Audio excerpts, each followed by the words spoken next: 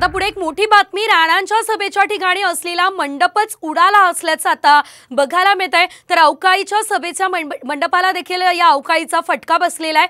राणांच्या सभेच्या ठिकाणचा मंडपच कोसळलेला आहे. ज्या ठिकाणी राणांची सभा होणार होती त्या ठिकाणी अवकाळीचा या सभेला फटका बसला असल्याचं आपण बघतोय.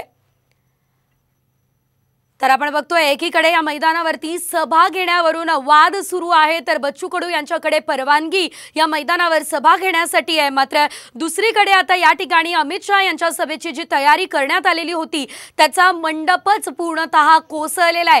या दरम्यानचे आपण दृश्य बघतोय. अवकाळीचा आता अमित शहा आणि राणांच्या सभेला जोरदार फटका बसला असल्याचं आपण बघतोय. तेच मैदान आहे ज्या ठिकाणी बच्चू कडू हे काही वेळापूर्वी आंदोलन करत होते. ठिय्या त्यांनी मांडलेला होता. याच ठिकाणी अमित शहा यांची सभा होणार आहे.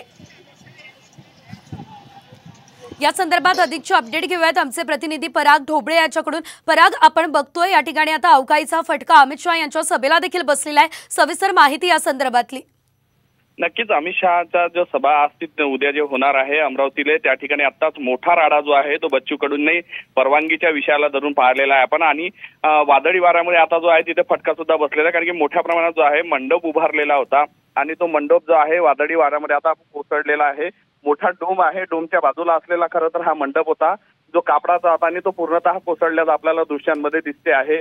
त्याच पद्धतीने ज्या अकोल्यामध्ये सुद्धा आज अमित शहाची सभा होती तिथचा सुद्धा मंडप फाटल्याचं जे आहे दृश्यांमध्ये आपल्याला पाहायला मिळते आहे. निश्चितच धन्यवाद. पराग दिलेल्या या सर्व अपडेटसाठी